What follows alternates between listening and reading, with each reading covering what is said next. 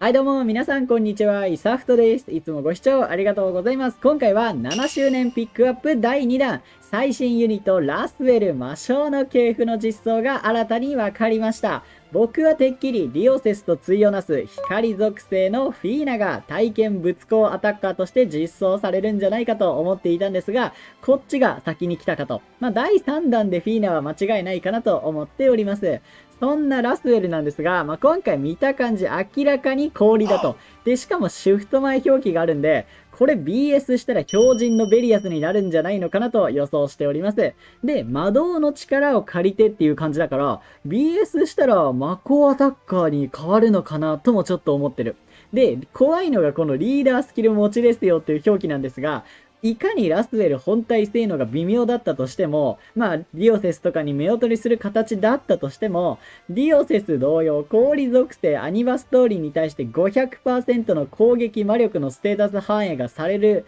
場合、もう引かざるを得ないなというところがマジで怖い。これから、まあ、例えばフィーナもそうだけど、光属性に対してとか、まあ、決めつけちゃってるけど、各属性に対して500%のステータスバフが乗りますよっていうユニットの本体性能が微妙だとしても引かなきゃいけないっていうのがマジで怖い。しかしながらラスウェルですよと。まあ、過去のラスウェルを見たとしても、いや、このラスウェルめっちゃ強かったなみたいな環境支配したらみたいなラスウェルはいなかったと思うんだよね。だからワンチャン不遇ラスウェルとして、まあ、スルーできる可能性もあるのかなと、ちょっと淡い期待を抱いてる。もうディオセスで持ってかれすぎたからさ、で、今回は、ついでというか、まあ、レーゲンが配布で一緒に来ますと。レーゲンの方にはさすがにリーダースキルはついてませんでした。まあ、二刀流というところもあるんだけど、まあ、無理くり両手で運用するような形になるのかなと思っております。魔導ガンブレードだから、いや、でもそうか、魔法タイプではないのか。ロカが、まあ、メイン魔法だったからそう思ってるだけかもしれないけど、二人とも普通に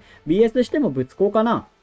特に、まあ、標準のベリアスになったとしても、イメージは物理アタッカーかなと思いますので、ラスウェルのやっぱリーダースキル次第で引く引かないを決めるかなと思っております。ただ、個人的にはレジーナ持ってないんで引かなきゃいけないユニットなのかなとは思っております。続いて、えー、あさってのメンテナンス後からですね、開催されるイベントが、まあ、レーゲンのビジョン解放クエストということで、こちらですね、まあ、レーゲンを獲得しようっていうイベント。で、新クラウンクエスト、竜王と武神の影。ずっと誰だろうなと思っていて、え、レイン武神三景とか思ったんだけど、いやいや違うなと。あれだよね、レインフィーナ。が、えー、マスタークラウン覚醒として来るのかなと思っております。ナイツはまた次かなで、竜王ってついてるから、まあおそらく、まあフィーナのことかなと思っていて、武神に関してはやっぱレインのことかなと思っているので、えー、レインフィーナの、えー、新クラウンクエストが来るのかなと思っております。メンテナンスは、えー、12時から5時という形になっていますので、えー、オーブとかですね、スタミナの使用だけ忘れずにという形で、